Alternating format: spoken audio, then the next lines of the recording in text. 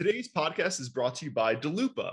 Daloopa's database of over 2,500 models contains the most KPIs for each company, along with non GAAP adjustments and guidance specific to the business and the quarter. Clients use Daloopa's existing data to construct their own models faster and ramp up on new names more readily. Coupled with Daloopa's plugin, which automatically updates numbers and formatting within your model, you'll never need to input numbers manually again. All of Daloopa's data points are contextual, audible, and accurate. Their AI algorithms allow them to collect the most data on their companies at the greatest speed and build out their model database at a rapid pace, while their final layer of human analysts ensures total accuracy of their models. You can even update KPIs for multiple different companies in an industry model that allows you a bird's eye view for better idea generation. Save time with Daloopa to do more value added work. No more data errors, no more Excel monkeying, just the fundamentals, all at your fingertips.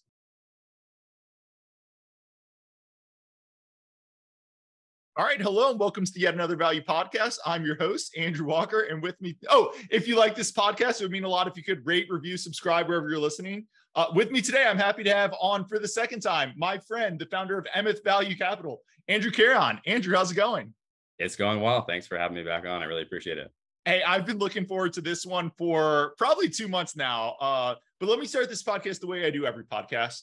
First, a disclaimer to remind everyone nothing we're going to talk about here is investing advice please do your own due diligence, consult a financial advisor. We're going to talk about uh, Diversified's a pretty big company, but the podcast is going to focus on Diversified, which trades international. Obviously, that comes with all sorts of extra risks and concerns and everything. So please consult a financial advisor.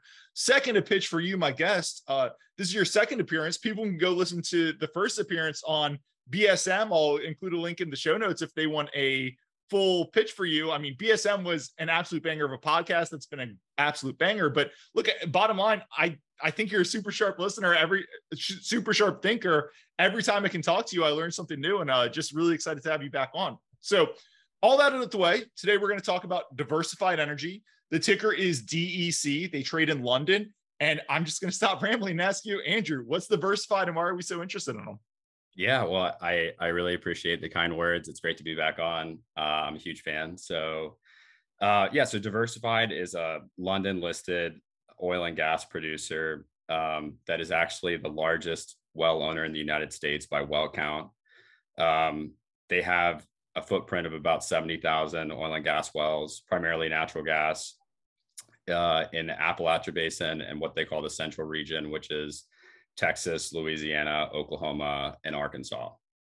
And something that's um, you know a little bit unique about Diversified is that they actually do almost no drilling. So uh, a bit different than a typical E&P model, where uh, I guess for, you know for the listeners' benefit, you know a, a typical E&P maybe you own a couple hundred thousand net acres and you know what might be a good location and you're certainly telling your investors it's a great location um, it's x percent developed and you're telling your investors it's half x developed and um, you know every year you go out and drill however many wells to both offset um, your embedded declines and then potentially grow production uh, as well.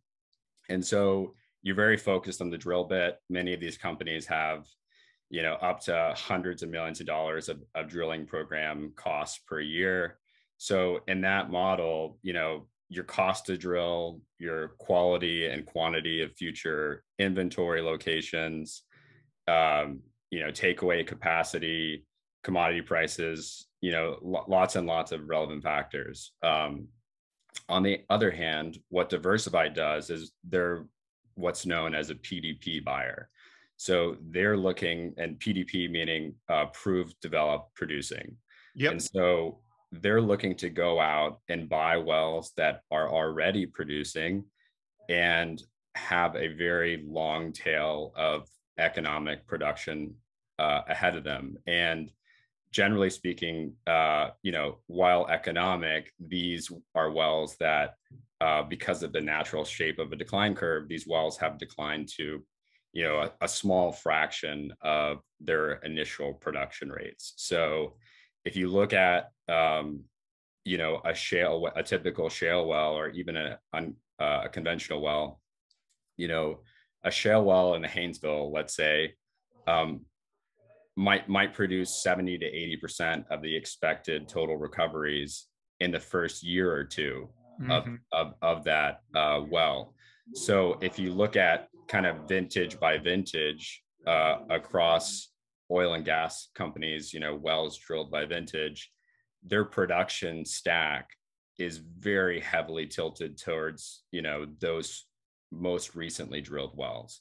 And so that's what their focus is. You know, all, all of these, you know, what Diversified likes to say is, you know, most E&Ps are set up to optimize the first 40 days of a, of a well. We're set up to optimize the next 40 years of a well. And, and so that's their focus. Um, the business was was founded, uh, co-founded by Rusty Hudson Jr., um, who uh, founded the business in 2001. Uh, he's a West Virginia native, so Appalachia focused. Um, you know, bought his first package of wells in Doddridge County, West Virginia, for two hundred fifty thousand dollars, really as kind of a side hustle while while he was in banking.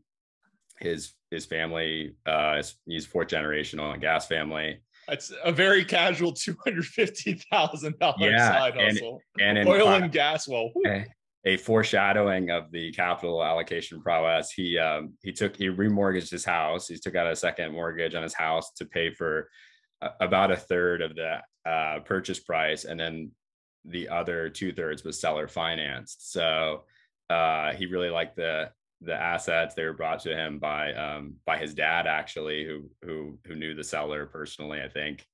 And um and, and so just you know it got his hands dirty early and you know saw you know what you could do by just keep keeping these wells producing and actually kind of you know tending to the wells so to speak. And so um they've been acquiring assets ever since. And uh you know today they've obviously uh, branched out from what their roots were in you know bread and butter acquiring conventional vertical well bores in appalachia. And really the paradigm shift there being um, and we can get into specifics but basically when the shale revolution happened in the early 2010s a lot of operators pivoted to saying we got to get in on on shale. How do we um, you know we need to go start leasing up you know the more attractive shale acreage and who can we find to offload our conventional assets to so that we can have capital to drill but also somebody that's reliable enough to you know make sure that you keep those assets producing? Because one of the things is that a lot of these conventional well bores sit at like you know the four to five thousand foot depth range right above shale, which would be more in the eight to 10,000 foot range. And in order to maintain, you know, holding that lease by production, you really have to trust that operator who you're giving those conventional wells to, because if they screw up, you lose that lease. And so that was kind of their initial bread and butter is, hey, so many operators are trying to get rid of these conventional assets. They're they're going in all in shale. We'll take them and we will just cash flow them and be kind of the right the right home for these assets. Um, and you know happy to kind of go any any direction from here. No that that's great. So just to summarize like what they're doing is they're going out and they're saying look company x you're focused on making these big wells. They're going to make most of their cash flow in the first year or two. You know if you think in the first year or two it's going to produce 100 barrels of they do gas but i'll just say oil 100 barrels of oil a day and year four by year four it's only 20 and that's on its way to 10 and then it'll probably be like 10 10 10 9 7 6 they say look we'll take these old declining wells off your hands and we'll manage them and an older well because it's not doing 100 it's doing 10 it needs a different cost structure right? You need to be much leaner much more focused. So that's everything they're doing. That that makes tons of sense. So like i think that's great I, I, want to talk about their acquisition strategy a little more, right? So, so this is the most controversial thing about them, and we can talk about the ARO, which uh, ties into it. But, uh, you know, a lot of people when I look at this, and I think when you hear it, you say, "Oh, DEC, they're going to go buy from some of the best operators in the world, right?" Their recent deals. I was saying it was Chevron, but it was ConocoPhillips. They did deals with ConocoPhillips. They did deals with EQT. They did deals with CNX. You know, CNX, the the person who wrote The Outsiders, which I think is the most popular book among value investors currently, like that's their chairman, right? So they bought from the dude who literally talked about how to do financial engineering and financial and capital allocation. They bought wells from him and they're saying, Hey, we're buying from all these sophisticated sellers and we're getting great purchases on them. You know, the PV PV uh, 10 would mean discounted cash flows back at 10% per year. They're saying we're buying from sellers at PV 17, so 17% IRRs, PV 20, PV 30. A recent deal was over PV 40. So I think a lot of people look at and say, how how are they getting these these prices on the assets? Like, how does this make any sense? So uh, I threw a lot at you. I'll just kind of pause there. No, yeah, that's a that's a really great question. And so there's a lot of different elements at play here. So while the recent deal was from Conoco was a $200 million acquisition, they have bought assets from CNX, they have bought assets from EQT. Not all of their acquisitions have taken, you know, they, they bought assets from Titan or Alliance Petroleum or Core Appalachia. So, uh, but uh, Seneca Resource, uh, uh, you know, uh, companies you haven't heard of also. So that, yep. that's not, that's yep. not the shape of all of their acquisitions. But so over the past, you know, since inception, they've made about 26 acquisitions. They've they've put about 2.7 billion dollars to work uh, at an average cash flow multiple of call it three times. And I think you you uh, you know one one thing that I hear often is saying, man, you know they bought this asset for two times, that for three times. This is too good to be true you know trust the simple narrative and the simple narrative is oh they're they're getting sold you know these assets because they're not actually assets they're liabilities yes, um, yes. and and that is a simple narrative but but in reality uh when you look at a three times cash flow multiple the reason that it's three times is because that is really what's required to pencil in you know a mid-teens to high teens uh, irr and so one of the things that is attractive about diversified's business model being a PDP cash flow focused acquirer is that it really works across commodity environments. So take like right now, for instance, the strip for natural gas is extraordinarily strong. Um, you look at an asset like Conoco and say, holy smokes, they bought this asset for PV 17 or, you know, and two, two and a half, a little under two and a half times multiple. Like, how is that possible? Conoco's super sophisticated. Well, the flip side is, yeah, they're buying it at a 17% IRR. But if you go take those dollars and put them to work in the Permian at this strip, put them to work in the Haynesville at this strip, the marginal economics of drilling a new well in tier one acreage, you know, it, it is in like the near triple digits IRRs uh, on, on some of the best locations. So that's one that's you know one kind of component let me just push back on that because yeah. the conoco one is this is the one they just did right they did it yeah. within a month ago so uh, this is really fresh in people's minds sure. they bought 82 million of ebitda from conoco for 240 million dollars i think the net price was 210 yeah. pv 17 everything he talks about and I don't disagree with you, right? Like every company I talk to, I've t- talked to a lot of oil and gas companies, says, hey, if we go into the Permian right now, like with nat gas at $9, $6 next year, wherever it is, like the IRRs on these wells, we're getting paybacks within nine months on any wells we drill. And obviously there's a risk of wells uh, gonna not produce what you expect or something, but you know, you've got pretty good engineering and stuff on the Permian at this point. So they're saying we're getting paid back within nine months, which I hear you take a old declining asset, sell it for PV 17 and go plow it into that uh, nine month payback well all day. But this is Conoco. This is a hundred billion dollar company, unlimited costs of unlimited funds, costs of capital, probably like their debt three to four percent. It's basically US treasuries. They're such a good credit. Like, why does Conoco need to sell assets at PV 17 to go fund some drilling. Like they can just stuff these on their balance sheet and just it, it's better it's better than the debt that they they take out, you know? Yeah.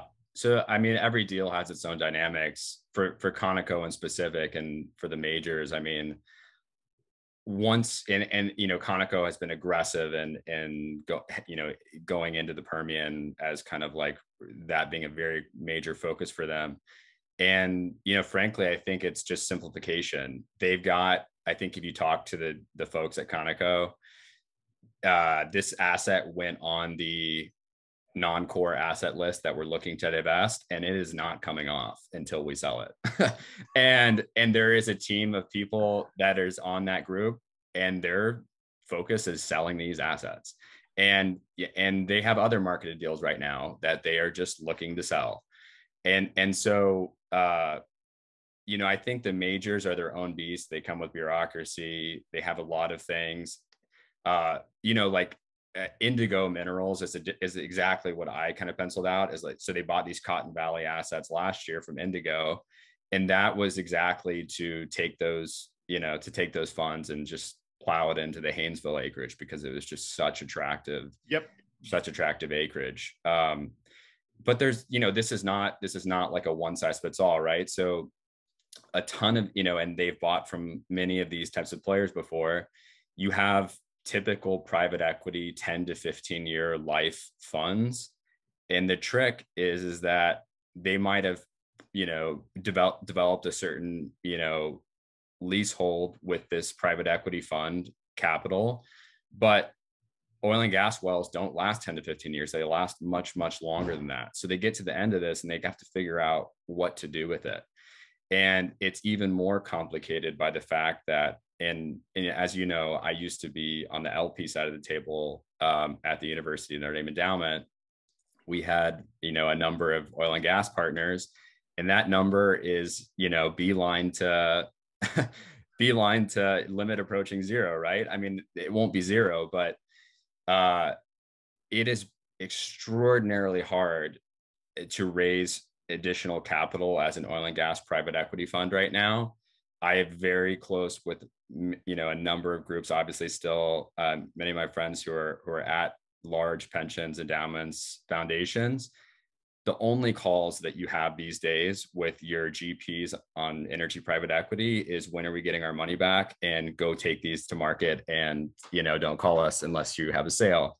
Has, so, that, has that changed in the past, let's say six months since like Russia, Ukraine, both because energy prices are skyrocketing and i think people are starting to see especially gas which diversified does but even oil people are starting to see energy security uh, is important gas is getting labeled kind of esg has that changed at all or, or is it still hey let's just get out of these dying fossil fuels I think it's hey, let's get out of these dying fossil fuels. I mean, it, plow it, it all into Shopify. yeah, yeah. What a what a better time to be taking some uh, some risk in equity markets right now, right? I mean, like in other places, right? I think you could always make the argument. It's like, hey, you know, are we really going to sign up for another 10 year lock vehicle in energy? Like yeah. we've lost our shirt. Like now we're getting a chance to actually get out with some kind of semblance of, you know, decency at today's price levels. Just sell it and let's you know take what we can and and run but it was a combination of obviously from an esg perspective uh things really moving the opposite direction and we you know there's a lot to talk about there but also just the experience of every lp in these private equity funds has just been treacherous i mean they've lost a lot of capital up until recently and i think people are just you know it's not worth the headache so I think it was Diversified who had a line. Eh, you mentioned two things there. They had a line in their last call where they're like, hey, the current strength of commodity markets has actually lured a lot of sellers out, right? Like people, when gas at 250, they're like, oh, let's just hold on. Gas at nine, and they're like, all right, let, we got our chance. You know, we got our dead cat bounce. Let's get out of here while the getting's good. But I, did, you know, so one side of the asset sales equation is why is, and I, I hate to sit on one thing, but Conoco is a big, it's a big company. And it was just a very nice illustration that one side is why are sellers selling at such nice prices? And I think you addressed that. The other side is why, you know, it should be a competitive market for assets. Why can diversified buy the deal before Conoco was at a 40 PV10 or something, right? Like, why can they get 40% IRR? Why isn't there someone, why aren't you and I throwing funds together and saying, hey, we'll bid 35, hey, we'll be bid 30? And I think one aspect of it is what you just addressed there's not a lot of buyers left out there. You know, you need to have operational experience, you need to have all that. So there's just not a lot of buyers. But the second one, which I want to talk to you about, and we can use this transition to AROs, is uh, kind of the synergies, the operational skills, and especially the retirement, uh, the asset retirement obligation management. So, do you want to start talking about that, and then we can talk about? Eh, I, I think you know where we're going with AROs, but oh yeah. yeah, for sure, for sure.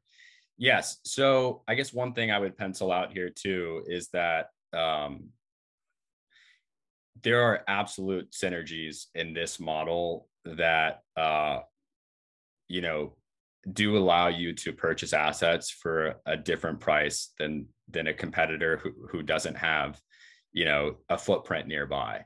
It is a route density model and we can get get into that. And so if you can look, i just the, it is a route density model more so than just your average generic oil and gas person buying. Like obviously every oil and gas person would like to buy the field next door. There'd be synergies there but diversified has particularly particular synergies to their route density model well the route density model in terms of like the route density model for a typical E&P is how do you get the most efficiency possible out of your drilling rigs? Yes. How do you get the laterals as long as to have continuous acreage? How are you running these things like effectively 24 7 to just squeeze every single efficiency dollar that you can out of your drilling rigs? This is totally different in that it's route density in maintaining your wells, operating those wells. And so uh, you know, if you if you look at Diversified's current acreage footprint in Appalachia, in a certain you know 50 mile radius where they have only DEC employees now, there were employees scattered from five or six different companies, not necessarily you know efficiently. You know, one company might have had a footprint on you know one well way over on one side of that 50 mile radius and then another well and just the amount of, of what they call windshield time just driving from one well to another and making yep. sure that things are is uh, a huge part of this business model and taking that out so now you could say okay well now you don't have to totally cross this 50 mile radius you take these wells that used to be owned by this company and now you're focused on this group and we're going to take these and flip, them to this person and you know all of a sudden you're saving a huge amount of time. So so there are some unique things there and uh, you know s- synergies are, are really important to that i think the other thing i'd call out and this is kind of maybe bringing in Oaktree a little bit is that one of the challenge is that you know these aren't just financial assets you have to know how to operate these assets and so you can't just come in and buy them as a financial buyer and expect to produce a good return. Really diversified's business model is built on we are buying these op, you know, we're buying these assets and we're going to operate them efficiently. Like that's the, you know, private equity companies come in, buy a business and try to turn it around. It is very similar here, but you're just trying to stave off you know something that you bought from a 9% decline and how do you get that to a 7% decline? Yep. Um, and so the the thing that people don't often think about and this is like you know the eqt assets that they bought are just an absolute prime example of this is that uh, if you buy a package of assets that's you know let's say in this instance producing x amount of cash flow and you model that in at a 7% annual decline. And for those first even 5 years let's say you can you know stave it off to a 5% decline or a 4% decline or this case they held them flat for 2 years. Um, the production wedge that you just created in the first 5 years is going to hold you know for for many many years you know 20 years thereafter and and sorry go ahead. Oh no i was just, it's the difference between if year zero is 10 and on the current decline it was eight so then you know you're starting year three your decline starts from eight. If you save that off year three you're starting from 10 right? So not only you're starting 25% higher but it's 25% yeah. higher on the whole downturn. Yeah you're rebasing the production. Yep. And what you'll find is that even if in the first couple years you can do something to rebase the production on a 20 year asset or a 30 year asset i mean they're looking at 700 million of like cumulative excess revenue from that single deal that was you know i mean a, a monster amount of additional cash flow from doing things that in the immediate term and in isolation seem like very small things and, and so that's another thing it's just being scrappy. They're very scrappy and they're very you know they're they're very and i only know this because i spent so much time with them but um you know they're very scrappy they're very returns focused and their whole model is really built on buying things that are non-core. And so these assets that have declined to such a small percent of production that you know at this point might be less than 1% of Conoco's production volumes. Yep. Um, they are non-core to Conoco. They have forgotten about these assets. They just want them gone. And I'm just going to jump in here. So I think another pushback would be their EQT are like the best guys in natural gas, right? It's run by the, the Rice brothers. Like the, they've got a huge history. They're they're really yeah. great at they're really good at this stuff. And I think people would say, why can diversified go and get a well to eh, stop well declines that EQT, literally the best guys in the natural gas business, can't? And the answer, and you can tell me if I'm wrong, but the answer is in what you just said. Look, these are a small piece of EQT's overall assets. EQT is focused on going and drilling new wells that are going to be gushers. They want access to LNG. They're talking about doing equity investments into $9 billion LNG things. That, you know, selling 50 million of non-core low production get assets to uh, diversified. The management team can't even spend time thinking about how to getting get those assets producing better. Yeah, that's that's exactly right. So, I mean, EQT is phenomenal too. So, this is a very fair question. I mean, Toby Rice is the guy. They are great, great operators. They bought those assets in 2018. So, another, you know, the flip side of giving somebody capital to plow in at 100% IRRs on a tier one well is a lot of these players were very over leveraged in, you know, in 2018. They bought a couple assets out of bankruptcy in 2018 and 2017. So, uh, on the flip side, they are scooping up assets when people are in distress. And so it depending on the environment, it's different assets that come to market. It was a 500 million or so deal for EQT, which was pretty helpful to bring their debt costs down. Yep. Uh, or not not debt cost, their debt, you know, their the amount of debt that they had down. And undoubtedly, I mean, they got to they got to give somebody else the AROs, which was diversified. So that is absolutely a benefit. You're giving up costs, the expected future costs to somebody else. So um, that transition is great. Like the the most frequent pushback I've gotten on diversified, and the thing I, I just did a, a, long series on diversified. The thing that stuck in my mind was the the buyer seller issue, which we've already addressed fully, but uh, the the toughest thing with diversified is they acquire these old wells, and with old wells come AROs, asset retirement obligations. Right? You've got an old well, it emits methane, it emits uh, basically pollutants, and you have to handle that. And the most frequent pushback I've gotten is, "Hey, diversified." They buy these things, and a lot of people think this is they're playing kind of a shell game with the asset retirement obligations. I'll just give a quick example. It was uh, in 2020, they bought assets from CNX. And CNX, if you look through their 10Q, and I, I, clipped this in one of the articles I posted, CNX reported a gain on sale because I can't remember the exact numbers, but basically said, hey, we had 100 million in asset retirement obligations. We're getting off our books with this. We sold it. We're getting a small gain on sale because the cash is greater than what we had in our books and the asset retirement obligations, all that, right?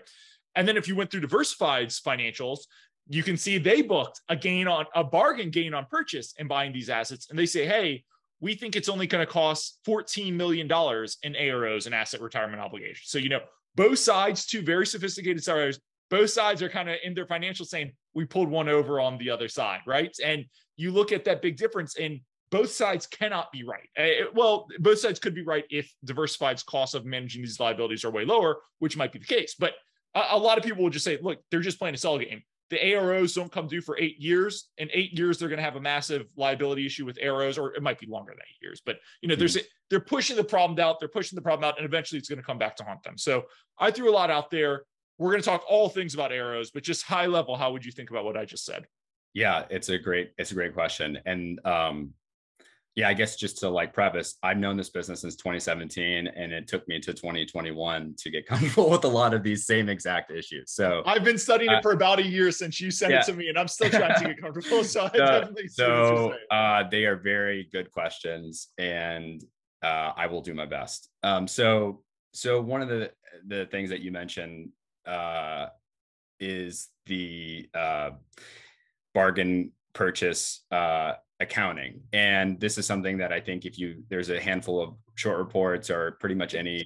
Can I just let you to me, and uh, please go, but to me, the gain on bargain itself, I don't care about the accounting, but I do care about CNX says I get a, I've got a gain on sale, and then Diversified says I've got a gain on bargain purchase. Like that, that's where I start getting worried. I don't really care about the accounting games of uh, gain on bargain purchase or not. Okay. Okay. I mean, just to clarify there for people, yeah. um, there are two ways that you can classify an acquisition. One is an asset acquisition. One is a business combination depending on how many employees they bring on, if there's midstream, lots of other factors, they basically have to go through with their auditors and determine is this an asset acquisition or is this a business combination? If it's an asset acquisition, you never have a bargain gain on purchase. But if it's a business combination, you have basically two options. One is to put goodwill in, or the other is to put either a gain on, you know, a gain on purchase. And because they are effectively acquiring commodity producing oil and gas wells you know putting goodwill in for for these purchases really doesn't make a whole lot of sense so they go through they value the assets at what they think they're worth and then they occasionally come out with a bargain gain on purchase largely because again this is an attractive environment to acquire these wells so if you actually believe that it is reasonable to understand uh, the company reports metrics that strip all of these out and that is what they kind of beat home to investors. Um, they're you know like when you think about a bargain gain on purchase typically you're thinking about a ceo or a management team that is inflating earnings. It's not backed by cash and they're using it to pump the stock to potentially sell their own you know monetize their own share and you know pull one over investors. Rusty has literally never sold a single share of diversified uh, and neither has his co-founder Robert Post.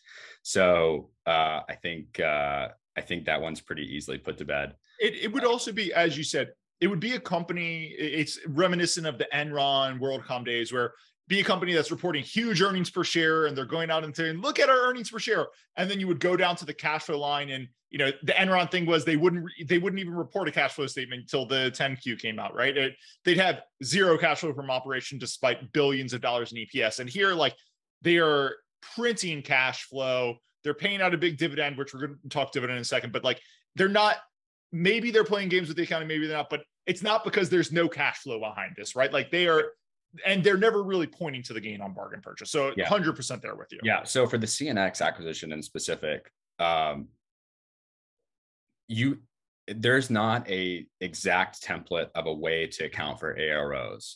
And for many of these companies that are very focused on drilling wells, the way that they will account for their AROs is they will drill a well and then they will set a fixed a fixed time.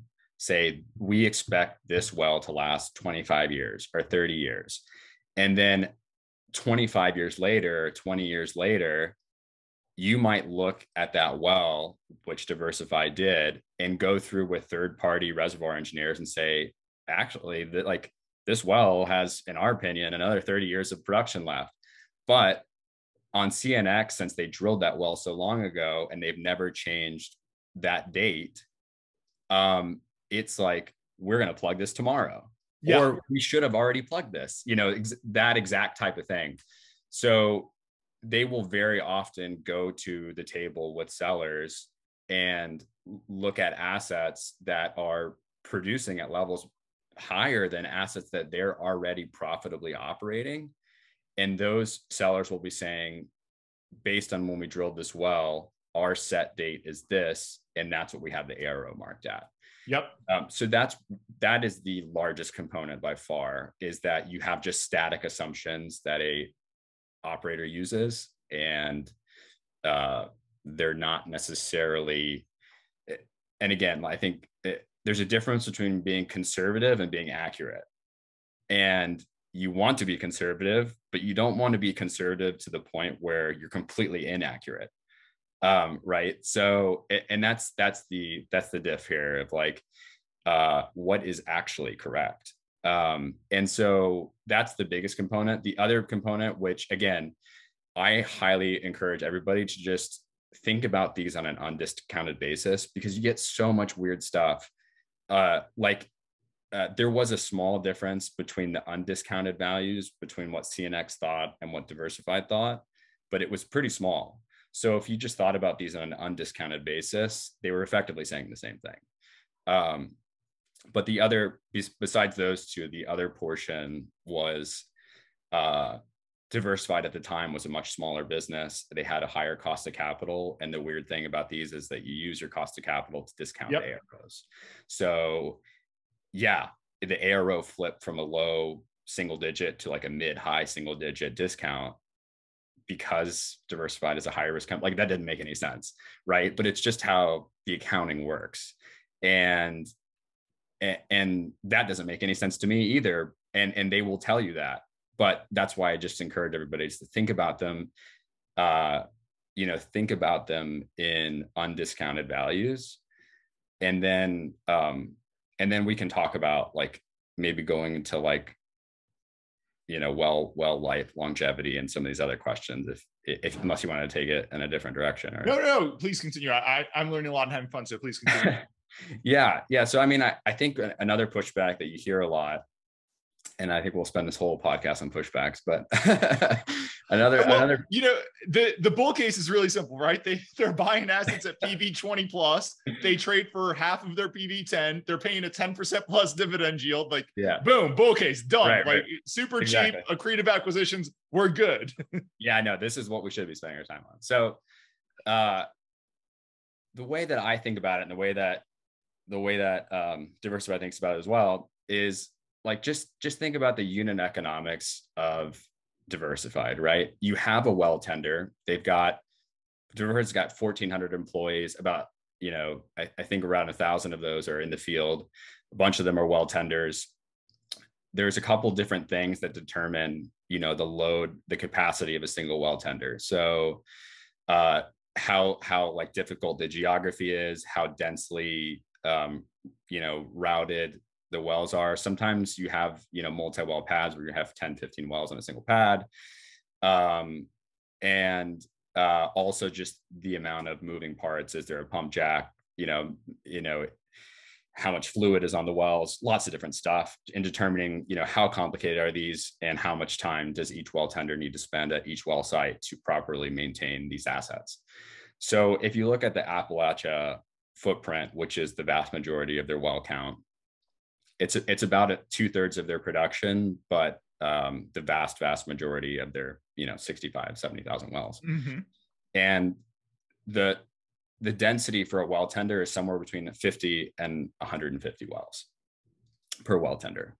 And so if you think about you know you go read any given kind of like diversified energy hit piece and you know they'll say, oh my gosh, these are all stripper wells, which uh, is defined by less than 90 MCF of gas per day um, of production. And, and, and absolutely true. That is vastly, vastly lower than, you know, these, these wells coming on and millions of, you know, cubic feet a day when they are initially producing and, you know, five to seven BCF of production for a single year in the beginning. And this you know this well maybe will hit you know a hundred thousand cubic you know yeah, it's very very different right? Um but think about that one let's just take a stripper well 90 mcf a day. Yep. That single well you know will at, at a four dollar strip will produce about $140000 of cash flow. Uh of revenue of revenue of gross of gross revenue the biggest fixed expense is these well tenders who get paid 75 $70000 per year. So a single stripper well of which is maybe one of 50 or one of 150 in a single well tender's portfolio can more than pay for the whole salary of a well tender of which the remaining 49 or 99 or 149 wells are extraordinarily high margin. Yep uh, gas wells. And the beauty of these assets is that they, they decline so you know they're very very so the beginning initial phase of a well is hyperbolic declines. The diversified focuses on buying assets that are in the exponential declines which just means that it's a set decline rate. So that you know 7% 5% whatever it might be. And this is you know based on the geology based on a lot of different things um, and so diversified's average well is a lot lower than 90 MCF. It's more like 10 or 11 MCF a day. But even that well, you know, like you have people kind of quip like 10 MCF a day, you know, that that'll buy you lunch maybe or something. I don't yeah. know. Um, and it's like, yeah, it'll maybe buy you last year's pricing, but today they'll buy you a fancy lobster dinner. Yeah, that'll buy you a, a nice lobster lunch, uh, power lunch. But um, but yeah, I mean, I think what people what people don't appreciate is that what they are trying to do is to build density into an efficient way to take care of these assets. And when you're able to take care of 50 or 100 wells, something that's producing 10, $12,000 of cash flow a year, like that becomes very meaningful. And, you know, on the other hand, the other biggest expense that you have besides that fixed is transportation costs. And the beauty of diversified is that they own a lot of the transportation uh, in in Appalachia and specific. So truly, you know, you're talking about covering the cost of a well tender and then some SG&A, but uh, I, I always just kind of chuckle when people talk about how could these be unprofitable. For one, just go read their financials. It's not that challenging, but um, you know, especially in this environment, um, but the other thing is just just think about it on a well by well basis, right? Like these wells are producing a lot of cash flow, um, and and so that's that's kind of the attraction. One of the interesting things to me, eh, eh, so one of the experts I talked to, he said something like, "Look, these are really low production wells, but like some of the things Diversified does is they'll only run the wells for like two hours a day, or they'll run it for two, then they'll shut it off for 10, then they'll run it for two more. And they're like, look, doing that like these wells are producing so little doing that and saving the the power costs on that and like it, eh, you you might keep the same production but with 10 hours less of power costs and like i'd never heard of a well shutting down for 10 hours and then coming back for two or stuff but you know it's just little things like that that add up and obviously everything you're talking about is more important but that was just one of those little nuggets that jumped out to me like oh you know i'm guessing a company focused on field on things that are producing 100,000 MCF or, or like they're not going to think about, hey, let's shut this thing off for 10 hours to save 20 bucks of power costs or something, but it's meaningful at this scale. Yeah. So, um, and again, one of the things I think is like I just encourage everybody go spend time with the company because they're very they're very open book and they're great people. Um, Bobby Clayton is the head of upstream operations for Diversified, and he is kind of like your very old school oil and gas guy who like conventional wells in and out is his thing. And he just knows you know exactly what you're talking about. You don't think about some of these things or equipment that was once used on a well that just shouldn't be used on a well anymore. And uh you know what is this doing here? The amount of cost that they're able to save by just right sizing wells and taking compression off of wells that shouldn't be on wells or adding compression that should be on wells uh, wells that might be producing too much, but then are producing too much water, and then you're you got expensive water cost hauling. Um, adjacent wells that aren't producing anything, but you need them to stay open so that water can go into those. Well, I mean, it's a lot more complicated than it's it's not it's not uh, oh they're buying a bunch of holes in the ground and they're claiming they can you know there's a lot to it and and so uh, you know, go spend time with them because they will do a better job than I will explaining a lot of these things. But um, well, I think you're doing a great job. But let me ask uh, more on the asset retirement obligations, right? So again, this is an area of sticking point for a lot of people. And one of the things they say is, hey, we have an advantage with asset retirement obligations because we are focused on these. We're in-housing our crews. We've got some of the the kind of local economies of scale you talked about. And I think I, I can't remember exactly. I, am looking at a couple different slides, but basically they say, look, our peers, we think it, it costs them $25,000 or more to kind of plug and retire a well. It's costing us these days under $20,000, right? So that is a massive, massive difference, especially when you're talking about wells that right now are producing, call it 70,000 in cash flow or something, right? So if you can take the ultimate retirement obligation from 25,000 to 20,000, that is a huge increase in your IRR on this, this well. I, I might not have said that perfectly, but I, I think that makes yeah. sense. So eh, my question is like, do you believe them on the ARO, right? Like, why do they have an advantage, a cost advantage against they just bought assets from Conoco to go back to Conoco. EQT, one of the largest gas drillers in the entire world. Like, why does Diversified have an advantage at plugging wells versus all of these guys?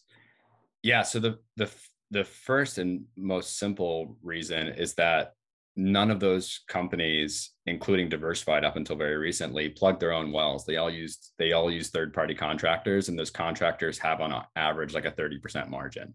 Yep. So yeah, diversified saying, hey, we're gonna we we save 25% by in-housing, but reality, they're just saving themselves on the margin that the third-party contractors where it, it, it it's that's not entirely ex, you know the explanation, but that is a big part of it. Is uh, that fair? Because I, I don't I don't want to push back too hard on that, but like you know, if I said, Hey, I'm Ford, I went and bought my seat manufacturer and I'm taking their margins out of the seat, all of us would say, No, you're just adding complexity to your timeline. Like that was kind of just cost of capital. You're just increasing your your capital. You're kind of just making a it, it back on your cost of capital, I guess. I, am throwing a bunch out at you, but is, is it fair to say, hey, just by in-housing, we're taking out the third party margin? It is because 80 plus percent of the cost is just it's just time. It's it's okay. cost on time. So cement is your other material. And so you have some cement costs where you could say, like in the in the seat example, you would be saying, okay, well, am I gonna am I gonna benefit by Ford by in-housing, you know, making my own seat? Since this seat manufacturer makes 10 times the amount of seats that I would make in-house, you wouldn't save because they're passing on some economies of scale that they get to you. And thus, is that is that kind of what you're saying? Yeah, I think so. I think yeah. so. And so in this case it is just a crew with a with a plugging rig and you are paying for the time that it costs that crew and then they are marking it up 30% on time and so if you are able to have the same time or better time and bring that in house and not pay the markup on time uh, assuming you're not getting taken to the cleaners on the 10% you're, you're spending on cement you're going to save money. I'm going to think about that because another argument would be, hey, we hire a lawnmower guy to go mow to go cut our corporate grass. Like, are we going to save money if we in-house the lawnmower guy? Like, yes, it's silly because that's such a small expense, but no, you're you're really not going to save money. I think it would come out to the same thing because the lawnmower guy's not. Re- he's just charging you for your time anyway. I'm going to think about that one, but th- that's an interesting one. I guess in that case, it depends on how you value your time. um, uh, but it, the other the other thing to consider here is that if you're a third party plugin company, and for one, this is a fairly small industry, which is you know these wells. One of the things is that they they last so long. Yep. As it is, and the industry on the whole it undoubtedly has some issues with not properly addressing these AROs in time, and we we can get to that if we need to, but but basically we have not plugged that many wells as a country. And part of the reason is because many, many of the wells have lasted so long that we're now getting to the point where we really need to start addressing this and start ramping up plugging. And so um, it is a still a fairly small industry. I expect it to grow, you know, a lot, especially with the federal money that's coming into the space. But the other thing to consider is that if you're a third party plugging contractor, you're just focused on getting other people's business. And that takes time and yeah. that takes effort. And the beauty of insourcing for diversified is they are going after third party business, but they always have the option to just do their own well, you know? And so the ability to keep your crews busy is a huge advantage. And uh, to add on to that, I think like that it comes back to that local economies of scale, right? If you're going out there maybe if there's plot A, B, C, D, E, you only land plot A, C, and E. So there's lots of driving time in between. But if Diversified owns them all, they can just say, hey, you go to A on Monday, B on Tuesday, C and D on Wednesday, E on, and you can save a lot of the kind of driving and hassle time and all of that. Exactly. And when you're bidding on a third party project, you can strategically just bid on the ones that are already close to your own wells. Yep. Yep. Yes. Yep.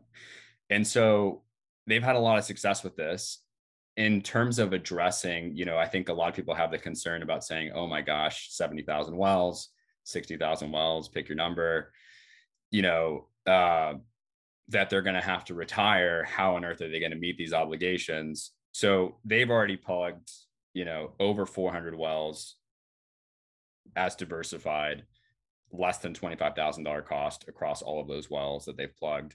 When you include the wells of the companies that they bought that they've plugged, it's more of like a thousand, 1100 plus. So they have a very big data set of what it costs them in Appalachia to plug a 4,000 foot conventional well. Yep. And so they have a very good sense for that.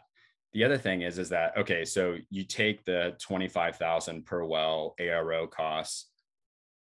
The first opportunity is what do you save by in-housing that? Okay, maybe you save five thousand a job um, by insourcing that in-house, and okay, that knocks X off your ARO.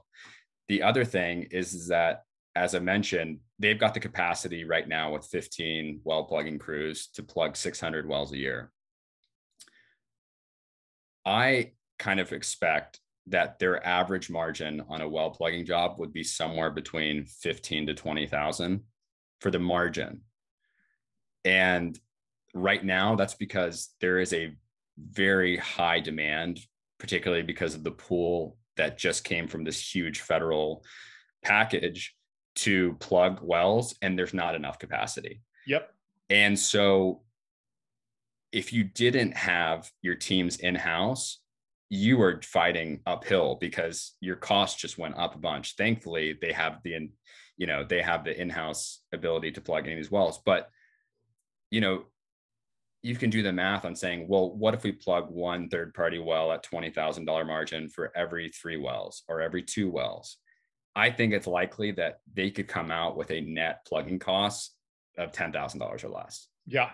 Um, and if that's the case, then you're looking at an extra billion dollars of cash flow for, for shareholders. But all that aside, I think that if I were a non-shareholder, you know, interested party that was worried about these environmental liabilities, the thing that I would say to comfort those worries, and maybe this is not what they would want to hear, is that you should absolutely be cheering them on for every acquisition that they do in in Texas and Louisiana because on the whole those are very different types of well packages that the ARO is much smaller. Typically they're taking, you know, like the Barnett, they're taking unconventional wells and on an unconventional well, in the tail exponential decline, it's very similar, very predictable, maybe a bit higher, like a 7% decline instead of a, or seven or 8% decline instead of a five or six. But uh, it'll produce 30 to 40 times the production as a conventional well in, in those terminal years. But the ARO is only three times higher so you get a huge amount of you know operating leverage on on those wells and um, they're throwing off a ton of cash so you should really be cheering them on to do as many of those you know central region acquisitions as they can because that's just more cash flow that they're going to be able to have to plug you know appalachia assets and i just want to give people an idea uh you said hey if they may if it ends up costing them $10000 net per well to plug all these wells because they're they're getting margin from third parties and all this sort of stuff. That's an extra billion dollars. Just to give people an idea, this is a 1.4 billion dollar market cap company. Uh, another 1.3 1.4 billion dollars of debt. So we're talking about an under three billion dollar enterprise value company, right? And you just said right. a billion dollars of excess cash flow. You know, to ExxonMobil that would be nothing, but to these guys, obviously that comes over years and years. But to these guys, that is a very meaningful amount of excess cash flow. Right. Let me let me stick with AROs and ask you another question. You you were just you were kind of mentioning it or alluding to it when you said, hey, when they acquire wells in Texas and Louisiana, lower AROs, that's more cash flow that co- to cover all the other AROs. But a frequent criticism you will hear of these guys from a bear is these guys are actually doing a kind of a very clever but very cynical form of financial engineering, and that is this we buy assets with big AROs. We juice them for as much cash flow as humanly possible in the near term. We dividend it all to shareholders and interest payments to debt and stuff. And then in the end, when that bill for the AROs comes due, we're going to file for bankruptcy or file that asset for bankruptcy. and hand the keys over to state regulators. Uh, uh, what would you say? And this is a very, very frequent form of criticism you'll hear. And this will probably bring us into the Bloomberg piece. But what would you say to people who said, hey, the whole trick here is uh, undersell AROs, pay everything out to shareholders, and leave someone else with the bag? Sure, sure. Yeah. So, I mean, I think the first thing I would say is that there's zero evidence that that is happening. They've never you know they they've never turned over the keys and walked away from an obligation that they have acquired. They did you know if you look at their two really big acquisition windows it was 2018 and 2021 they bought a huge amount of assets in 2018 and they went through covid you know i mean and they didn't turn over the keys to any assets. So uh so i would say uh, that's point number one. Point number two is that they historically have paid a flat 40% of cash flow as a dividend. And now it's even less than that. So their 10% dividend today is, you know, may, maybe not a third, but somewhere between 40% and a third of cash yep. flow. And so it's cheap.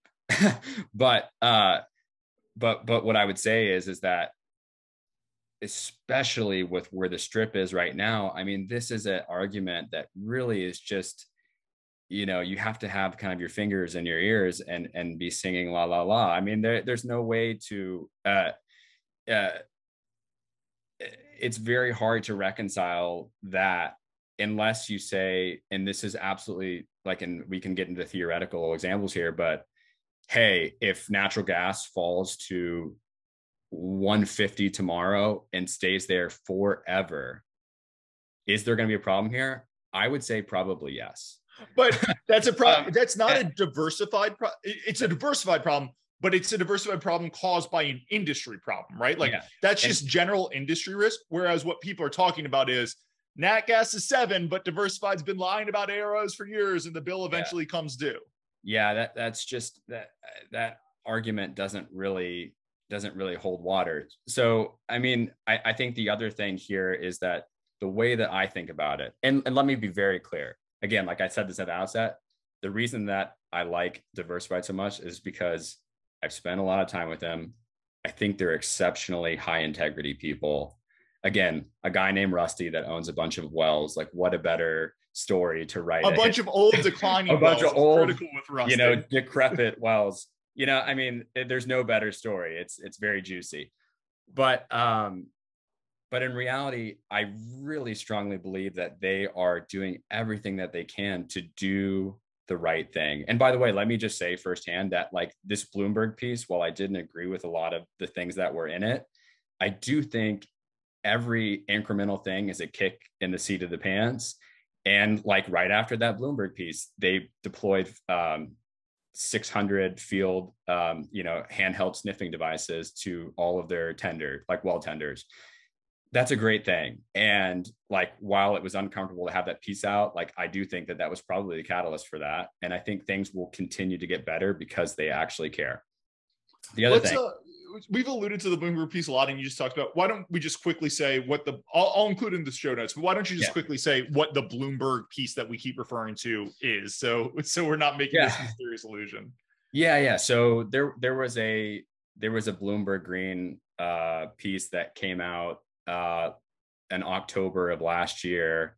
I think that the you know majority of the well visits in that piece was like midsummer, maybe early summer, something like that of 2021. Uh, there was a, a group, of two reporters that basically went around to 44 wells, largely on state land because it was mostly state game land because they couldn't get approvals to go on to private lands, was my understanding.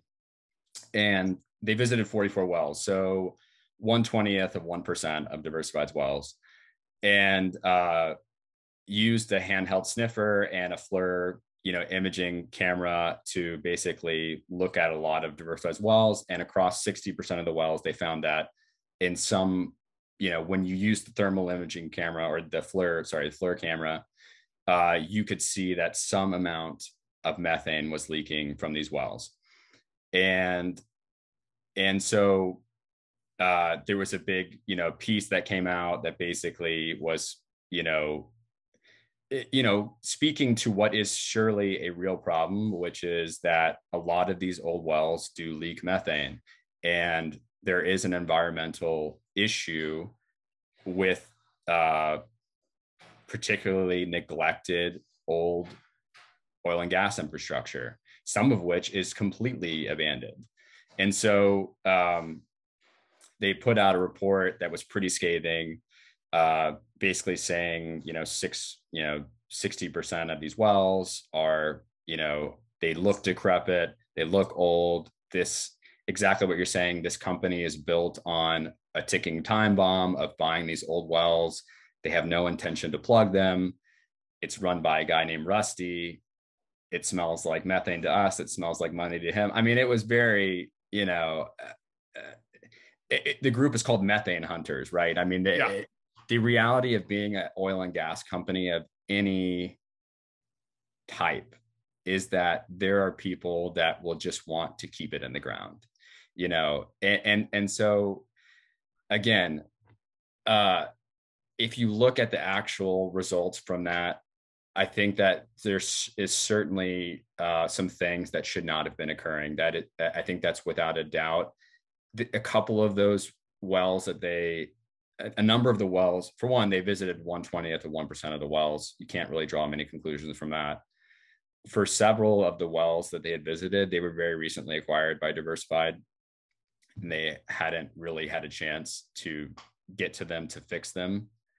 Uh, some of the leaks of that 60% were pneumatic devices, which is, you know, is a priority for everybody to um, to fix. So pneumatics are actuated by compressed natural gas uh, methane, and usually those pneumatics are relating to like getting fluids off the well the well bore. So um, they're they're necessary to the function of these wells. Um, but you know when they actually took the samples with the you know when they used the the imaging camera, the only thing that you can tell is that there's some amount of methane leaking. And you know, I know you've covered this to some extent in your piece, but like go sit at a fuel repumping station and look through one of these things. You will be terrified. You know, I mean, if you lived your life looking through one of these things, you would think the world is ending. The the quote that the quote the expert told me was he was like, "Do I know about the Bloomberg piece? Yes. Did I read it? No. There's been a hundred p- hit pieces like it. If you take a FLIR camera and go turn a uh, a lawnmower on and look through the FLIR camera, as you said, you will think the entire world is ending. It's just like yeah. no, it's just a lawnmower. Yeah, and so uh, the amount that they actually measured with the high flow sampler was uh, very much in line with what Diversified had already disclosed in their sustainability report. I'm not saying that that's okay, and neither do they think that that's okay. They're trying to get their emissions down, and and and their biggest priority is methane. So their most recent sustainability report, which was the 2021 sustainability report, um, was a methane intensity of about a third of a percent. So, of the total natural gas that they produce, roughly one third of 1% escapes as fugitive emissions.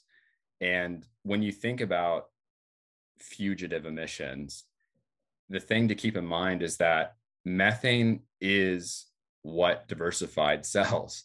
You know, they are very incentivized to go and get these get more molecules to the sales meter because typically and they they said for for these leaks that were identified by these two reporters it was a total repair cost of $2000 and some of them most all of them were a turn of a wrench right to tighten a pipe and so um, these are not hard fixes they require consistent attention and time uh, and and so uh, they are aligned with you in terms of wanting to make sure these don't escape as emissions. The other thing is that the average diversified well tender lives 30 minutes from from like his well. These people live in the communities that these wells are like they're not trying to pollute you know uh, these people care. A lot of you know a lot of these well tenders like they love being outdoors. They're very patriotic people. They you know it's so easy to paint things with a negative brush, but in reality, nobody nobody wants to be part of the problem. I don't I don't know if this is too naive on my part, but one thing that kind of got me a little more comfortable with this as well is this Bloomberg piece has been out for let's call it a year at this point, right? if there was real meat to this bone, I would have thought some politicians would have jumped on this and started like shouting and not that you can make a career out of just uh like crucifying one really small oil and gas company but you could make a career you could make a pretty good local career or a start of one out of kind of crucifying them on don't leak in our backyard and to my knowledge i could i could be missing something i haven't seen anybody really try to make anything of it which suggests to me that the problem was pretty small and diversified with sitting down with a couple people were able to explain hey if you really try and turn this into a thing, it's probably not going to go well for you because there's really not anything here and people believe them. I don't know if I'm naive on that or not. No, I, I think when you talk to state regulatory bodies, when you talk to, I mean, Diversified is co-managing the state of Ohio's yep. program. You know, they uh, they have a very very good reputation for doing the right thing. And while that might not sit well with some people who want a more extreme outcome or who cannot possibly conceive that an oil and gas company could be part of the solution uh, you know it, it's hard it's hard for them to to swallow but i think the you know the um you know yeah I, I don't know if this is a bull or bear case right but you will frequently hear Diversified owns so many wells and has so much AROs, they're too big to fail. And they'll also mention the Ohio State regulatory program. And some people will say that in a negative way, as in, hey, they they're never going to pay the AROs in full because they'll keep going to the states and be like, look, if you leave us out to dry, we're just going to hand you a billion dollars worth of AROs. So like give us some breaks let us keep harming the environment because if not you get this bell of goods. And a very cynical bull case would be the same thing but that says hey they can juice their cash flows from doing that. I don't think either are necessarily true but I, I think it is worth quickly addressing. Yeah i think that is certainly speculative you know the spec people of course say that all the time. The reality is is that depending on what you know, depending on what uh, source you look at, I mean, there's an estimated million, you know, or orphan oil and gas wells out there. They've got 70,000, 60,000. I mean, too big to fail. We've already, like, we already have a monster problem in the United States. And my personal view on this, and, you know, I'm, I, am i am based in New Orleans. Uh, my personal view on this is that the onshore liabilities are going to be a walk in the park. We are, you know, eh, eh, you know, knock on wood, uh, eh, without some kind of major across all oil and gas fallout of some disastrous proportion, like we are going to take care of these onshore AROs. The offshore AROs really freak me out. Um, and when you start diving in, particularly into like just the Gulf how many non-producing offshore abandoned platforms there are. It is terrifying. Um, and these are way more complicated to address. And so i'm not saying that we don't have a problem. We need to address this and it's going to be a collective effort. Um, but it is not the you know pipe sticking out of your backyard in middle of nowhere virginia that scares me like that you can address that that's not that's not a super complicated thing uh deep water abandoned well that freaks me out having dealt a little bit with longtime listeners yeah. will know uh, amplify energy having dealt yeah. with this a little bit with amplify energy and the oil spill off the coast of california I, I, can say that it is no joke handling environmental liabilities in offshore. it, it is just absolutely crazy. You, you've been super generous with your time, but I, I do want to ask yeah. uh, two more questions before we go. And then I'm happy to keep going because I'm learning so much from this. But the first question look, it wouldn't be a podcast without asking, and it's particularly res- relevant here. These guys pay out a massive dividend, and a lot of people will look at that and say, look, they're out here saying we trade for half of PV10. 33% free cash flow yield, yield to our stock, which by the way, it's not free cash flow yield that's juiced by super high, uh, super high energy prices because one of the great things I like about these guys is they hedge so much that they're kind of realizing three dollar oil and gas prices when uh, gas at nine. So you know it's thirty three percent on hedged numbers. They've got great visibility. Why are they paying this massive dividend? Why do they keep raising the dividend? Uh, why don't they buy back stock? Like a lot of people will point to the dividend and lack of share buybacks as hey, further proof that they want to leave a bag of goods to the AROs at the end and they're just trying to get all the cash out of the state in the meantime. I don't one of my pushbacks on Qurate, sorry, I'm rambling here, but no, no, this is great. Uh, Qurate in 2020, they paid out a big dividend. They paid out some preferreds, they paid out a big dividend. And a lot of shareholders looked at them and say, look at the free cash flow year, they're going to give it all back to shareholders. And my kind of different point was John Malone has never paid dividends before. The man hates paying taxes. He always buys back shares. If he's paying out dividends here, it suggests that he's really worried about terminal value here. And a lot of things happened in between now and then, but I think that proved out right. And here, I, I could see a rhyming reason why they're trying to get all the cash flow out of the estate. Yeah. So on on this one, I think I think there are a lot of reasons. So when you think about uh, when you think about what they're trading off, like right now, their stock is pretty. Their stock is very cheap, very cheap, but very cheap.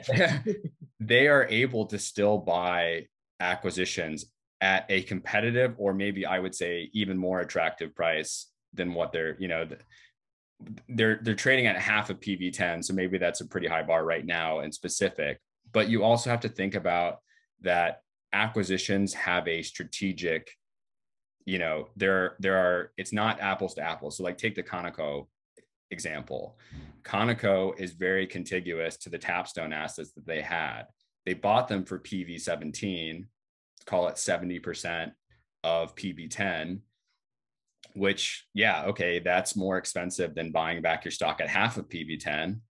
But they are going to get some synergies on both that Tapstone footprint and the Conoco footprint by, by plugging in that asset. The model is built on keeping the density going yep. and making sure that you can drive down your cost per well.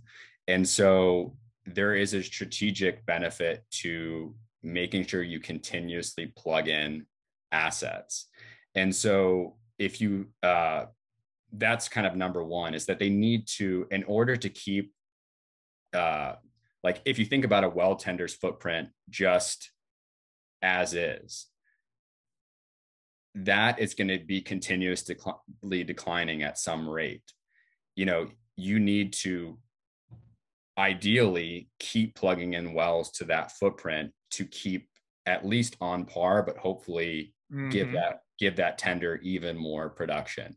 And one of the things that I'm excited about here, and again, I don't want to turn this into a two hour pod, but I'd, I'd love to, but um, but is that they have so much, you know, they, they have 8.6 million net acres of undeveloped acreage or partially developed acreage.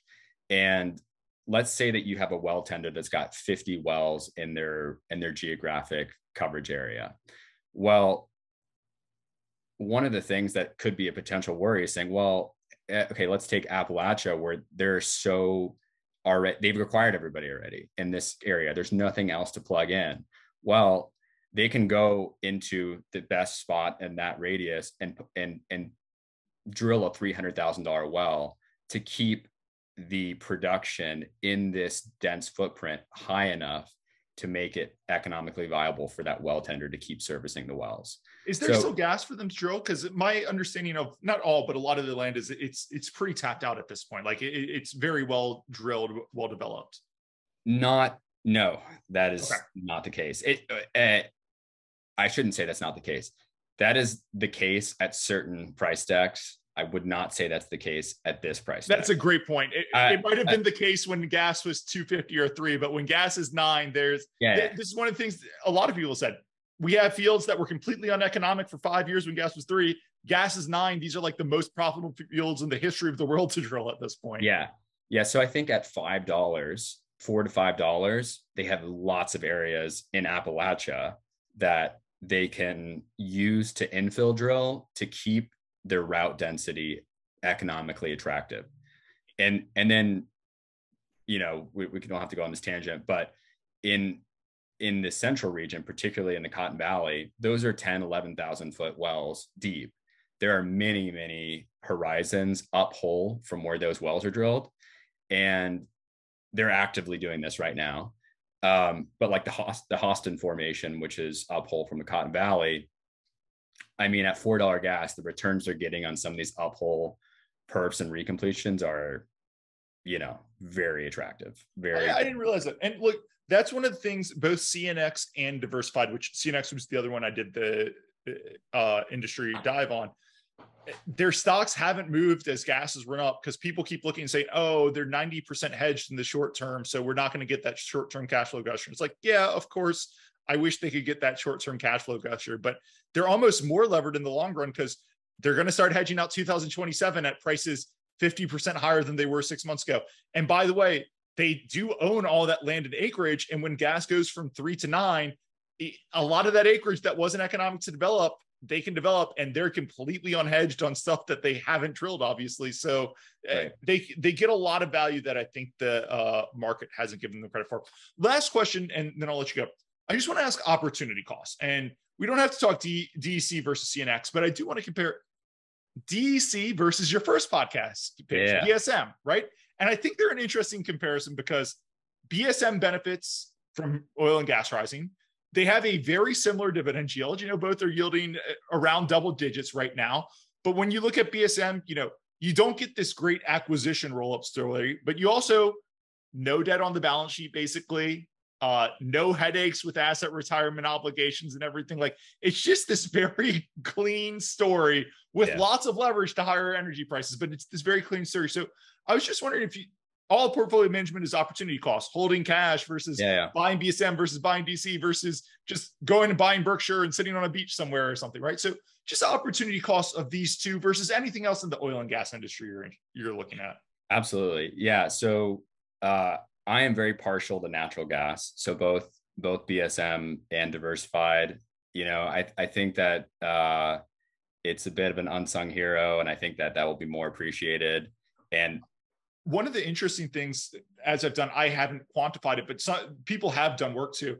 If you really believe in electric vehicles coming on, all that energy to charge them has to come from somewhere. And they said it, it's a lot of power, and natural gas is going to have to power a lot of that. And then Europe and LNG. Sorry, I just had to throw no, yeah, yeah. And you look at the backyard here in Louisiana between us and Houston. I mean, the LNG that's you know both approved you know look at the FERC website proved under construction and approved you know like between like the driftwood different things that are like seems like they're getting to FID pretty soon I mean you have a very bullish picture for demand particularly for Gulf Coast demand for natural gas which is very good for you know not to be long-winded here but one of the things historically that I was worried about with diversified is that it was all Appalachia one of the things that really got me interested is when they started doing more Gulf Coast because I really like Gulf Coast gas. And as you'll know, BSM has a just a crown jewel of a portfolio in Gulf Coast,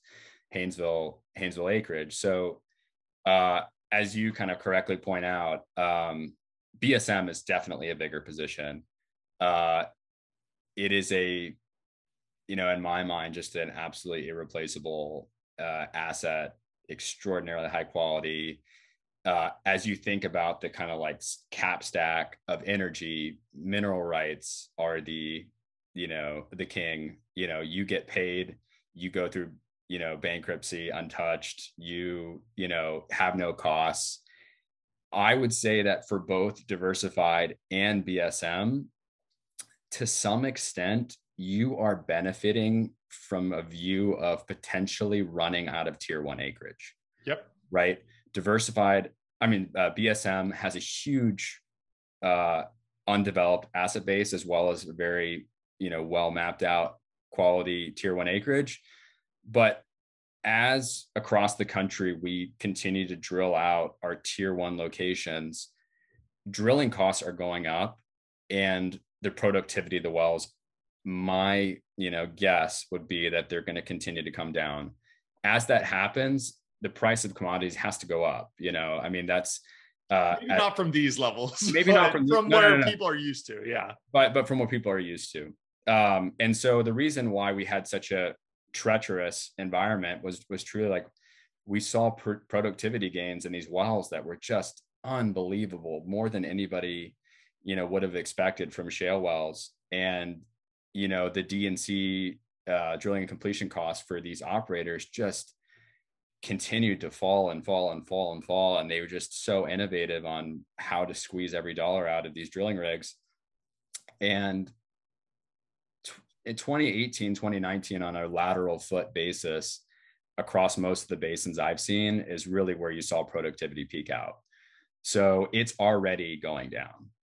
Um, uh, i was just going to say one thing that's interesting for both DC and BSM is BSM was saying on their last call, they're like, I can't remember what acreage it was, but they said, look, I think, was it, I can't remember what acreage it was, but they said 15 years ago, we ascribed zero value to that acreage. And now it's like one of our largest producing acreages because of developments in technology, not even price developments, just developments in technology made it economical.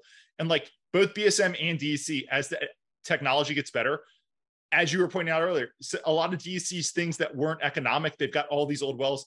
You might go take another look at it and say, oh, you know, we're not using 1980s technology anymore. We're using 2020s technology. And we actually can go and find a lot of oil that's really economic to produce.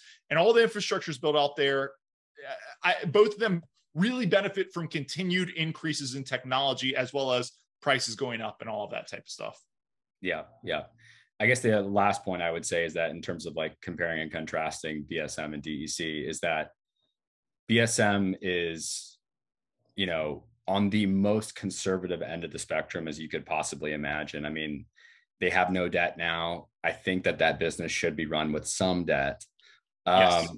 and and you know, I wouldn't necessarily want, you know, I wouldn't necessarily call them aggressive, you know, acquirers of assets, but they certainly are aggressive in terms of getting operators onto their lands and trying to spool up kind of organic development.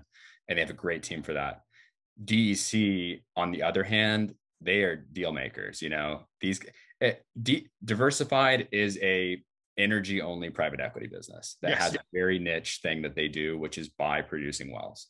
They're private equity guys. You know, they are very financially savvy. Look at their debt structure, right? They have all of their debt is in asset backed long-term fixed rate structures which i think they were one of the pioneers of with old declining wells if i'm remembering correctly they did yeah they're the first to do it and uh and and so these are you know abs structures that are you know six different um separate vehicles that uh you know just incredible structuring of this uh you know all the reasons that people hate private equity you know diversified ticks the box. I've tried um, i've tried to pitch smaller companies on doing that to uh realize some value for land that I, for production i don't think they're getting any credit for and all of them said look it's a really interesting model but it takes expertise cost and scale that we just do not have which yeah. is obviously a feather in uh, their cap yeah yeah so very different businesses i think that the attraction for diversified is that people will continue to hate oil and gas and sell them assets. uh, one last question, and then I'll let you go. I, I got so many questions. I, I tried to do one one stock, one podcast, but I have to ask. Uh, BSM, yeah. their their CEO bought. It wasn't huge in the grand scheme of things. He bought seven hundred fifty thousand dollars worth of stock uh, yep. earlier this month, which would be huge for me. It's not huge for him. Uh, but this is the first insider purchase, I, I, think, since 2019, and it's the first sizable insider purchase probably ever. A lot of people were wondering about that. To me, I, I just think it's hey, if yeah. you listen to the Q2 the Q2 call, that was the most bullish I think I've ever heard him on the company. And I think he was in an open window and he said, let me take this pocket change under my cushion and put it there. Yeah. But uh, what do you think? No, absolutely. Uh, it is very hard for me to understand how we haven't had a little bit more of a move with as bullish as they were on the last quarterly call. And I know we talked about this, and you kind of rightly pointed out to me that um, for whatever reason, even though we've had a really strong strip in natural gas, and you know, with uh, Freeport coming back online, I don't see how that doesn't get stronger. But um, we've had a very strong strip in natural gas, and somehow the, the, the business seems to be entirely correlated to oil. um, and I thought that was a really funny observation that you pointed out. Um, but it, it, seems very true. You know, even though it's 75% production of, of nat gas, it seems to move every day with oil.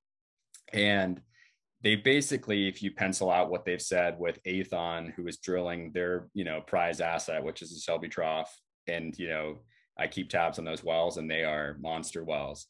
And uh, and between that and maybe some additional growth on the Austin Chalk acreage, what they expect to have about 30 wells drilled over the next 12 months, um, they're penciling in a 25% growth between last quarter and end of 2023 exit volumes uh, for the royalty piece because it doesn't look that high if you just take the gross numbers they gave you, yep, but yep. the working interest piece is declining. And so when you back into what that means for the working uh, for the royalty volumes, it's like a 25 or a little higher uh, year over year, or maybe uh, six quarters increase, and that's all gas basically. I mean, it's it's all gas. So uh, and then I think you exit that probably still growing in the low teens or high double digits uh, or high high single digits. Um, it's very cheap, and I, I think it's really attractive. Look, eh, it's just one of those ones. I love one of my other favorite podcast questions is how do you kill this company? And like with BSM, the more I've done on it, the more it's like it's there's no debt on this, right? The, the CEO owns about 25% the way you kill this company, okay, oil and gas go to zero overnight. Yes, fine, industry risk yeah. like that. But if you're yeah. start, starting to talk company specific risk, the way you kill this company is horrible capital allocation, like on the scheme of in complete incompetence. And again, the CEO owns 25%. Have they made some missteps? Yes. But one of the things I liked on the Q2 call was they owned up to a lot of those missteps and they said, hey, we're aware of what we did. We're we're going to keep systematically hedging. We're not going to be cowboys one way or the other. We yeah. understand we sold some at the bottom, but we wanted to make sure we got through to the end. Don't worry, we understand the value. I, I it's just it's one of my favorites because great earnings growth. They're going to give you the cash back, and it's really hard to kill. Uh, and BSM and DC have another interesting thing in common where there could be like an ownership catalyst where DC, all their assets are in the US, they're listed in London. They've been very clear they'd like to come over to the US at some point, which I think would make a lot of sense. BSM, MLP structure. Half the people I talk to, I say MLP and they say, not for me, pass, which completely understand. But both them, maybe one day that changes. Anyway, I've rambled. Andrew, I've learned so much from you. It's so great talking to you. So great having you on the podcast. Anything we didn't cover you think we should hit or anything? No, this has been great. I think we could keep going for another hour and a half if we wanted oh, to. we could. But, but the good news is uh, you run concentrated by I know most of your other holdings. So I'll be ready to bring you back on for podcast number three. But Andrew, this has been awesome. Thank you so much for coming on. And uh, again, looking forward to podcast number three. Yeah, I really enjoyed it. Thanks for having me.